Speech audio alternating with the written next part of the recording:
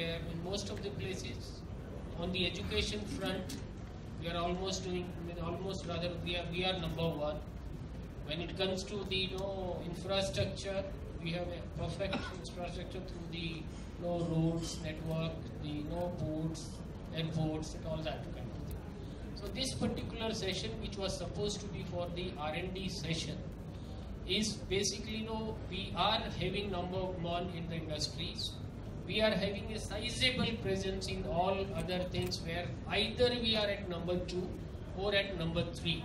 I'm not repeating that for the sake of repetition because we are already short of time and I thought that I'll cut down that part.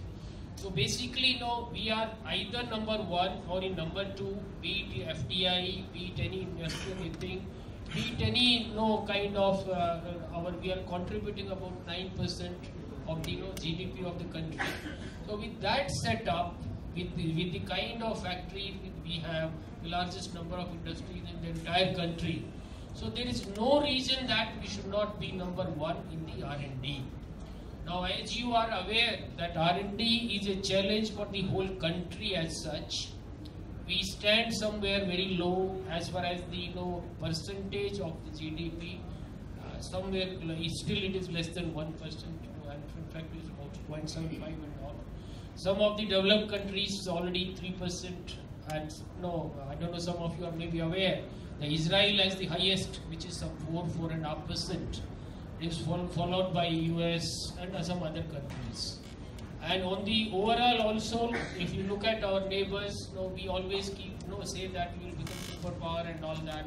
No, that is, we need to be realistic. And we need to kind of step up our you know, things. And there is a focus is going on these IoT things, artificial intelligence and all that.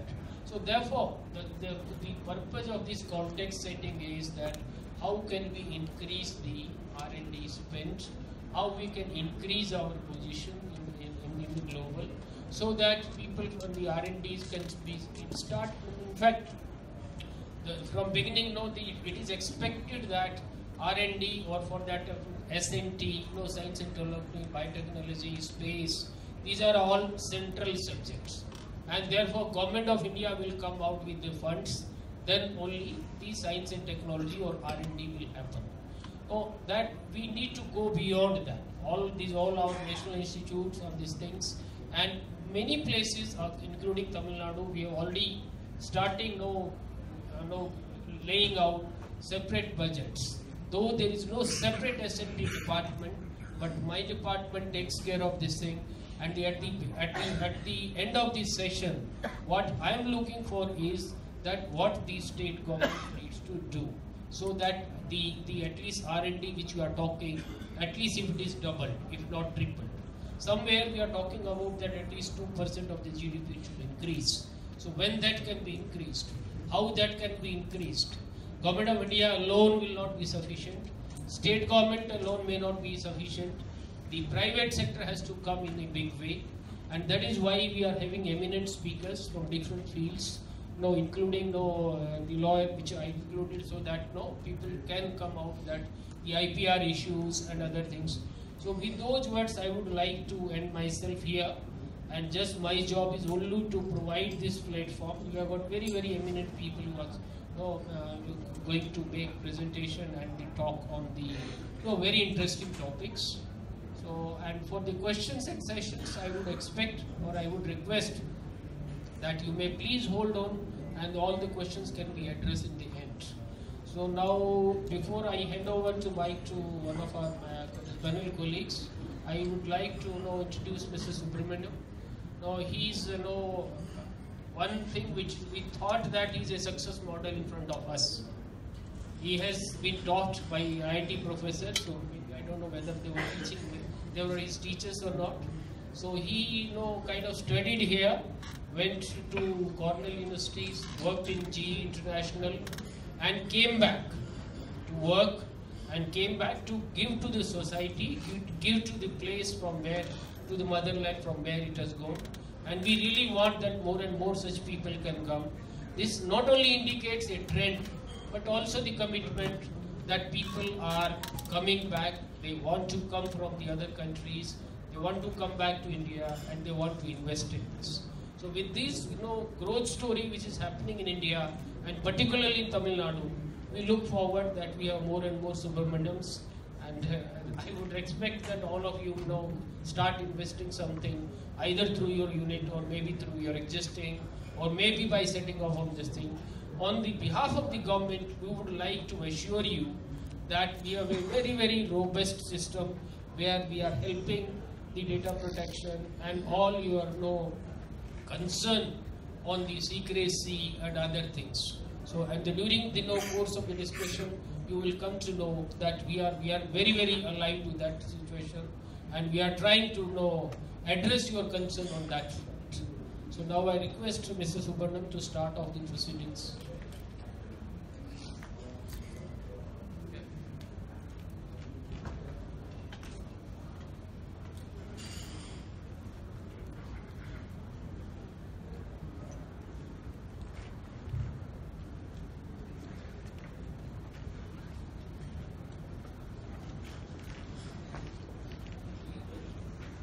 Everyone. We are the last uh, panel of the day, and we'll make sure we are crisp and to the point, and we'll make sure that you have something very significant you can take away from this panel. So, as uh, Mr. Mangatram Sharma IAS has introduced, um, we have a very eminent list of speakers, and we're not just saying that. And I think through my presentation, I will tell you why we have chosen a certain combination of speakers. Uh, the whole idea is to present the entire R&D ecosystem in Tamil Nadu. Right, so the topic is the way forward, but I think the message that we want to give you is that the R&D ecosystem exists today very much. Right, so anybody who wants to do R&D has all the support services, has all the scientific talent available in Tamil Nadu. And of course, we need to discuss how to take it even bigger. What is the way forward? Right, that is the topic of the symposium. So um, I'll just start with my presentation. Um, why Tamil Nadu? I think you've heard this all day today, but I doesn't hurt to state the obvious. The fact that we have access to very highly skilled human capital. It is a fact. We have excellent brains. Uh, we have multidisciplinary brains in Tamil Nadu.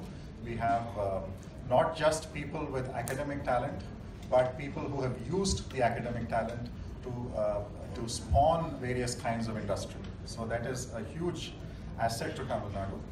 Uh, we are also the automobile capital of India. I'm highlighting automobile, but we have a lot of other industries as well.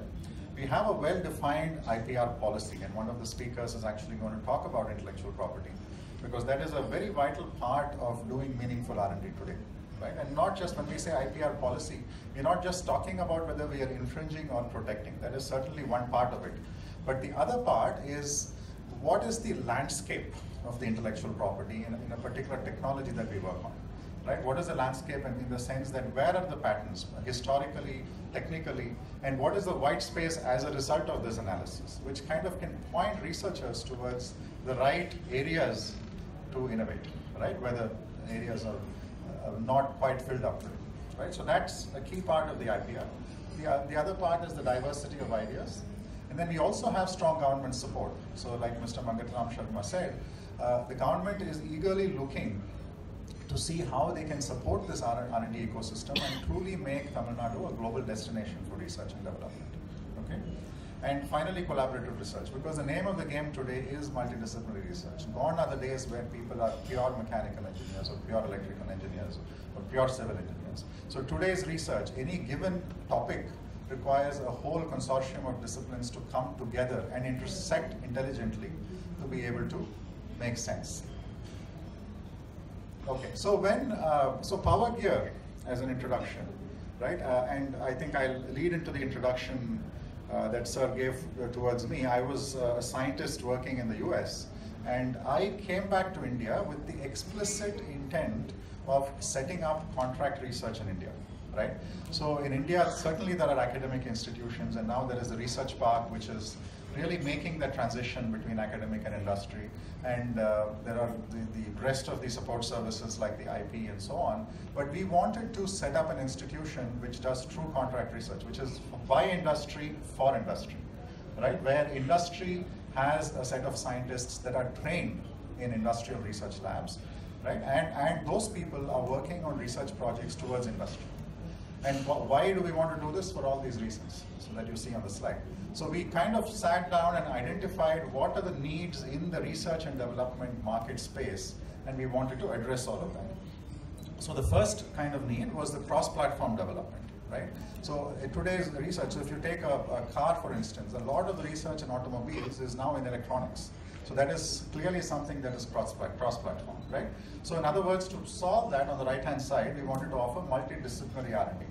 In other words, a team of scientists from very, very different disciplines is, is what we maintain, right? We, is what we have uh, under me is a team of scientists in, in very, very, very different disciplines. And all of them work together to solve a problem. Second one is cost reduction and efficiency because a single company, right, if they have the bandwidth, yes, they can hire all the skills. But I think the recognition is growing that there's a lot of talent outside the world and you can't, outside, uh, outside your company in the rest of the world, and you can't really hire all talent within your organization, right? So that thing, idea of having a certain minimal lean, um, lean headcount within the organization and then farming out even something as high-end as your innovation needs. That thought is really taking off and it, it is happening in India. Uh, third part is access to diverse technology so that on the right side you can focus on your core competency. Right? So uh, an automobile company, for instance, uh, they, they have several core competencies. But then, as an example, uh, as you, for example, move towards electric vehicles, you may want to invent a new kind of battery. And a battery is essentially predominantly chemistry and that may not be your core competency, right? So that's a strong reason why you may want to keep your core competency and then outsource what the delta is, right? The next one is rapid innovation. So today, time to market is a big deal, right? So time to market is, is such a big deal that people underestimate the importance of that. Even in research, where the output of the research is, is uncertain today. So today you may not be very clear as to what's com coming one year down the line, even though you have the problem definition. The timeline is still critical. So you have to be able to define through your experience as to what's coming in, in quarter one, quarter two, quarter three, quarter four. Right? And that is something an industrial perspective brings to the table. In other words, the discipline of timelines and deliverables is key to delivering even something as high-end as, as, as nebulous as research to the market. And the demand for applied R&D. So uh, this goes kind of along with the, uh, uh, the last point, which is the low R&D to product conversion. So we are actually working on, on, on uh, ideas where we are trying to see how we can all collaborate, right? How, how an industrial R&D lab can collaborate with a captive multinational R&D lab, which and collaborate with an academic R&D institution, and collaborate with an, a research park kind of setup, right? And, and the idea of all of these setups is to encourage collaboration inherently, right? So that collaboration, we believe, will in totality, essentially, uh, uh, get you the applied R&D that you're looking for. So in other words, what we mean by applied R&D is, is, yes, the technology is one piece, which is a very interesting piece of the research, but the, the mindset that even when you're inventing the technology, the mindset of keeping cost in mind, the mindset of keeping reliability in mind, keeping manufacturability in mind, keeping supply chain in mind, right? Because unless that thinking is enforced as a team, right? So you have folks who are great at the concept, you have folks who are great at manufacturability, who are constantly beating down your head saying that, yes, you can't do this, or this, this is something you can do. Otherwise, we are doomed to fail. Uh, and, and when you talk about startups, especially this, such things are true because startups, people talk about two valleys of death, right? First is the technical valley, which most startups actually happen to cross, but second is the commercial valley. And why do most startups fail there? Because they think of it as two different valleys right? And if you, they had thought about commercialization right in the concept stage, then the probability of failure becomes much lower. Right. So that's the message. Um, what I have here is, I won't dwell on this too much, but just a company background of what we do. We are into four verticals. Uh, electrical products and research and development services, which I what, what I just described. We're also into non-destructive testing and manufacture of electric vehicles. So the company itself is a very broad-minded company. We are into both manufacturing and knowledge-based services. And that is the idea because we want R&D to be co-located with manufacturing, right? Because uh, uh, that really enforces the discipline. And in fact, we have people from manufacturing as part of our R&D team. So the discipline to make something that is eventually manufacturable is always there. so next slide, again, just a snapshot of technologies. Uh, we are obviously profit driven and then we have to uh, choose our expertise is based on what the market requires, right? So based on those, market pulls, we have defined our areas of expertise, which are namely power electronics. We are into chemicals and material science. We are into embedded systems and sensors. Sensors meaning invent sensors that don't exist in the market today. Uh, we are into MEMS, uh, mechanical, electromagnetics, and uh, high power systems, which is uh, which intersects with our other verticals. Right? And we also consequently play in key markets of aviation, medical, energy, automotive, industrial, chemicals, and consumer. So the, all these technologies, or rather a combination of uh, these technologies, will map into any given application. So somebody from the consumer space says he wants something, then it is usually a combination of the technical skills that we are showing. Right? And what we, again, the gamut of R&D services that we offer, it covers not just the concept, uh, it, it, covers what comes before the concept, which is the business intelligence, which is the legal intellectual property, and sometimes even a market survey, and sometimes we'll have to estimate things like the cost uh, even before you invent the concept, right? Because that tells you whether you have to go ahead with this or not, right? So business intelligence, then R&D, and then what we call NPI, new product introduction, which is essentially the commercialization right? So the whole gamut of services is what we call true R&D because that's what gives the total package to the customer. Uh, just a few case studies just to show how we approach projects and this is this is uh, my last but one slide. Um, so uh, the first one shows uh, uh, a DNA analysis device, literally about uh, six inches in size. It's a tabletop device that we did for a customer. And what we have listed below that is the component skills that go into that, right? It sounds like a biology application, but what goes into it is materials, electronics, power, and thermal. And uh, we also work, uh, do a lot of R&D in electric vehicles on the drivetrain, on the user interface, on the chassis, right? And the component skills there are electronics, mechanical, power, and chemicals. And uh, we, we work in smart grids in the energy, energy domain, and uh, which involves power, materials, controls, artificial intelligence, and so on. Right? So just to give you a glimpse of what a classic industrial R&D project looks like. It's, it's, it's, it's application driven, not to, not to say that there is no fundamental research. There is fundamental research, but it's always driven by an application. So hence the market is already there that you're doing the research because the market is there. Right? And I'll close with this, which is an introduction to the rest of the panel. Um, so at this point, I'd, I'd, like to thank the government again for inviting me to moderate this. Um, so what I want to present is the picture here, which is on the left side you have the R&D providers, right? And, and uh, on the right side you have the consumers or the end users of R&D, right? And so kind of a rough sketch, right? And what we have tried to do in the panel is to have a representation from all the major blocks of this, right? So you have on the top, you have academia, and so we have IIT that's represented. Dr. Bhaskar Ramamurthy, the director of IIT, is going to talk about it. Uh, and associated with that, uh, right on the red line, which is making that interface, is the research park and the incubation ecosystem, right? Which is kind of both the R&D doer and the receiver in some sense, right? And then among the other R&D providers, you have government R&D organizations, you have industrial captive labs. Today, if you see in industry, most labs are captive. Right? If, if an industry sets up its research lab, it's for its own research. Right? So you have the industry captive labs, and then you have the contract research folks like us. And on, on the right side, you have the industry consumers of R&D. Right? So industry does both. They do R&D internally, and they also are the final end users. They are the ones who commercialize. And then you have the government consumers of R&D right? And in between you have all the R&D related services, which is the IP, product design, manufacturing, etc. So the point I'd like to make is we have representation in this panel. We have carefully chosen the panel and they have thankfully accepted for all of these parts. So Dr. Bhaskar Ramamurthy represents the academia part, Dr. Ashok Jhunjhunwala represents the research park, IIT Madras Research Park, which you'll hear about. And then um, uh, Dr. S.K. Nayak represents, uh, he is from the Department of Atomic Energy, uh, from the Heavy Water Board, so he represents government. Okay, and then we have uh, uh, Mr. Uh, Sanjay Gandhi, who is, is, a specialist in intellectual property law, so he'll talk about the importance of IP. Right, I think I covered everything. And we have Mr. Karthik Athmanathan, who heads the electric vehicle um, department of Ashok Leyland. So he'll talk about that aspect, right? How industry perceives R&D and what the issues are and what the solutions are, right? So with that, I will hand it over to the panel. And uh, you will hear from all of these component folks And as I said earlier, the message again is that all the components are already here, right? And all we are trying to do is to integrate this, com- combine, come up with a, a, a joint offering, right?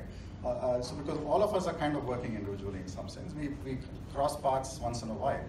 But I think uh, to really take Tamil Nadu to the global stage, right, we'll have to present our capability in, in these terms.